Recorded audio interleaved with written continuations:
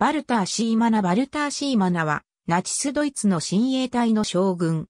最終階級は、親衛隊中将、武装親衛隊及び警察中将。オーストリア・ハンガリー帝国のトロッパウで、新聞編集者であるアントン・シーマナの息子として生まれる。1905年にプラハの士官学校に入学、1908年12月に卒業してオーストリア・ハンガリー陸軍に入隊した。1920年4月に、少尉の階級で軍を去り、銀行員として働いた。1926年12月7日に、国家社会主義ドイツ労働者党に入党、同時に突撃隊にも入隊している。1926年12月7日から突撃隊第一小隊に所属。1929年10月1日から突撃隊第10連隊配下の分隊指導者となり、突撃隊総長となる。1930年5月に突撃隊第80小隊の指導者となり、11月22日に突撃隊少尉に昇進する。1931年3月からは突撃隊第2連隊指揮下の第1大隊の指導者となり、1932年8月から1933年5月まで突撃隊指導者学校、クライノルズの校長を務める。1933年5月に突撃隊、第50連隊指揮下の第1大隊と突撃隊、第230連隊指揮下の第3大隊の指導者に任命され、8月10日には突撃隊少佐へと昇進する。1934年3月に突撃隊集団、ドナウの特別任務幕僚となる。1934年に防護警察に入り、防護警察隊員となる。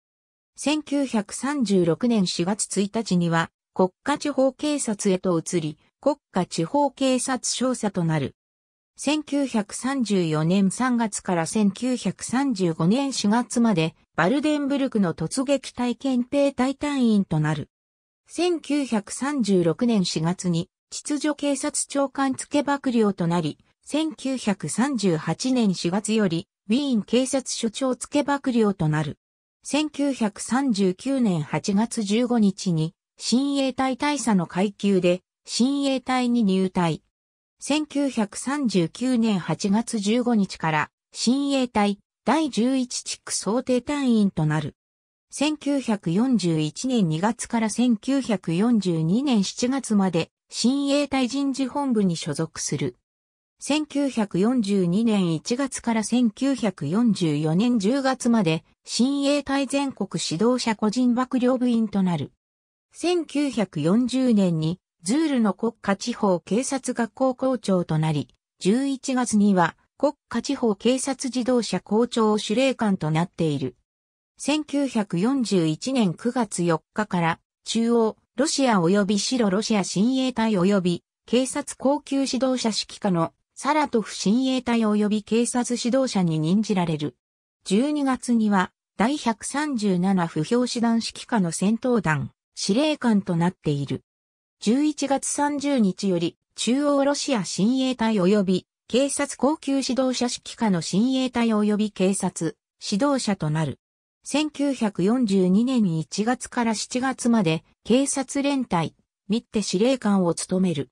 7月13日より第13警察連隊司令官に任じられ、21日からは、白ロシア親衛隊及び警察指導者代理及び親衛隊守備隊司令官に任じられる。1943年6月30日より SS 防衛師団ガリーツエン師団長に任じられる。3月26日から戦闘団シーマナ司令官となり、ミンスクとボリソフにおけるタイパルチザン戦に参加した。